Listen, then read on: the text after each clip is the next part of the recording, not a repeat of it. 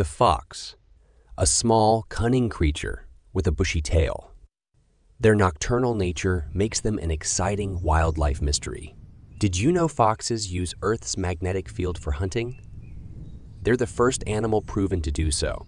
Foxes are quite vocal, communicating with over 40 different sounds. Their eerie screams are often mistaken for human cries. Incredibly adaptable, foxes can be found in various habitats. From deserts to Arctic regions, they make the whole world their home. Lastly, foxes are monogamous. They mate for life, sharing duties in raising their young, a testament to their strong pack mentality.